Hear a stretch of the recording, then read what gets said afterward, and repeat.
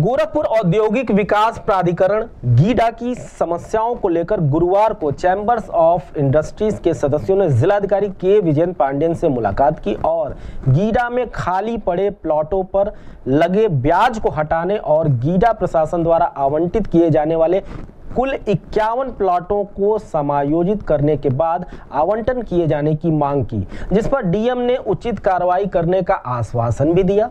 Gorakhpur news से बात करते हुए चैम्बर्स ऑफ़ इंडस्ट्री के अध्यक्ष आर एन सिंह ने बताया।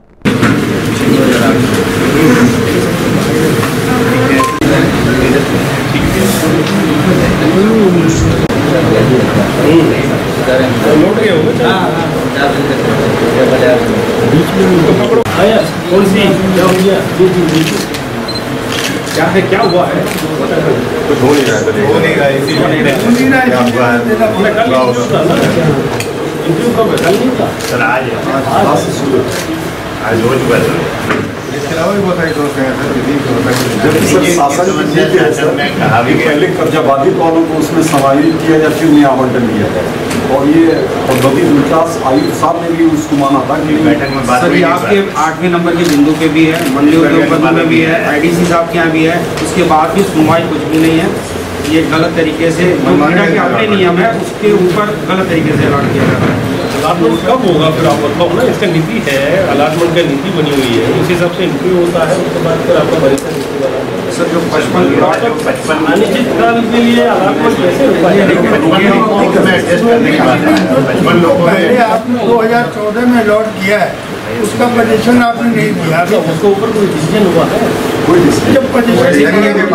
और ये नियम है गीडा का कि पहले जो पोजीशन नहीं पाया सर पहले एकोमोडेट करेंगे उनको उनको थे सर टोटल जो है गीडा के लोगों को ही वो इक्यावन छोड़ के इक्यावन छोड़ के अगर वो पचपन छोड़ के फिर से इक्यावन लोगों को नया खड़ा कर दिया जा रहा है। बहत्तर लोगों का पहले से कैंसिल नहीं हुआ है अभी कोर्ट में मैटर है। पचपन लोग कैंसिल नहीं हुआ है नहीं। नहीं सर जो गलत है। अधिकारी थे उनके खिलाफ कार्रवाई हो। हम तो उद्योग लगाने वाले हम तो उद्योग लगे ये कैंसिल नहीं हुआ है। उस समय वो वो जगह मीरा के पास कब्जे में नहीं थी क्योंकि रोड प्रस्तावित थी सीधे जाने के लिए। जब कब्जे में नहीं थी तो उन्होंने रोड घुमा के अलॉटमेंट कर दिया। लेकिन जो वो रोड नहीं बना पाए उस पर इंडस्ट्री लगाने के लिए प्लॉट उन्होंने दे दिया। इस ये तो प्लॉट इस जानकारी में था कि पचपन प्लॉट जो हम दे रहे हैं ये गलत है है ये है। गलत किया गया।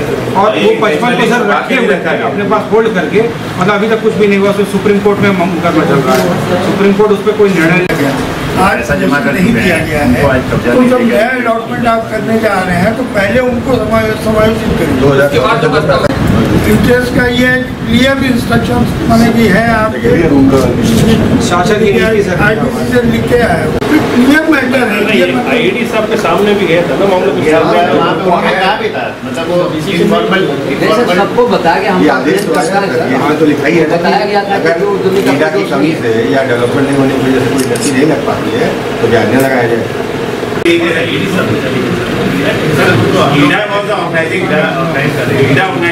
थी हम लोगों ने सिर्फ़ कब से आज ये ऑलमोस्ट दस महीना हो गया आठ दस महीना।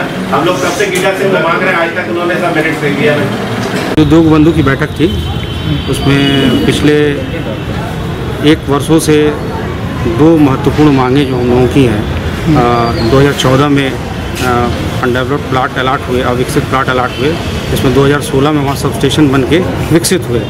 उस समय तक ब्याज में छूट देने की बात प्रमुख सचिव साहब के यहाँ से शासन से भी पत्र आ गया। वैसे शासन की नीति उसमें स्पष्ट लिखा है कि शासन की नीति है कि अनडेवलप्ड प्लाट पे ब्याज अधिरोपण नहीं किया जाएगा।